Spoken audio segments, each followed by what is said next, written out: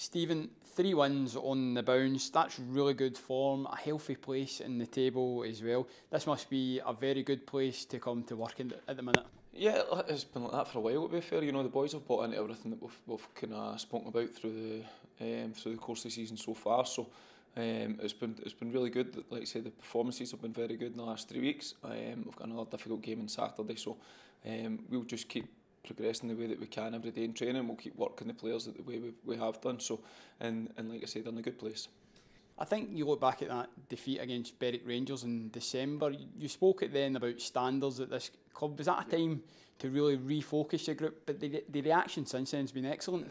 with young players, you're going to get uh, kind of you, you, get a lot of ups and downs. You, uh, you've got inconsistencies, and that's part of the development. We're in that development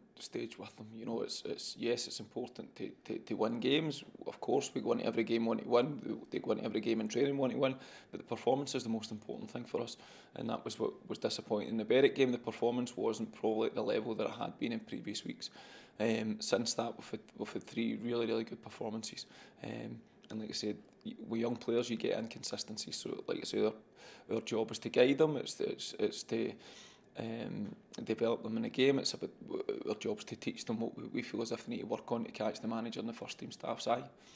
And then, as you said, it's Galliferdin at the weekend, 12th in the table. Again, those mid-table teams, they can be really tough, sticky opponents. So the boys will need to be focused again to get the three points.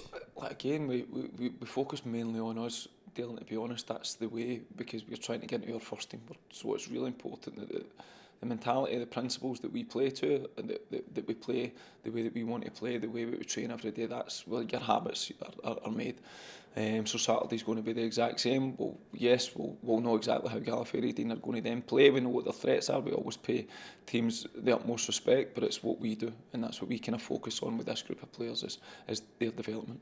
it's probably the first chance we've actually had to speak to you uh, talking about getting into the first team about Rocco Vata making his debut against Hibs. Yeah. I imagine there's an element of pride and you know and, and hoping that he really kicks on from there. Uh, listen, it absolutely is. You know, there's there, there's a few that are bubbling away. Our, our job is to develop players, uh, develop people. It's like I say, when you come through our club, it's it's important that you've got the values of the club because it's it's when you see somebody breaking through.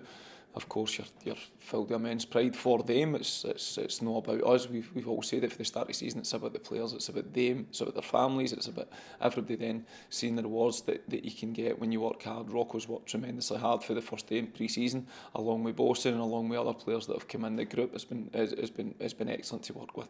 Like I say, we do our job to the best of our abilities and, and that's what we'll, we'll always try and strive to do.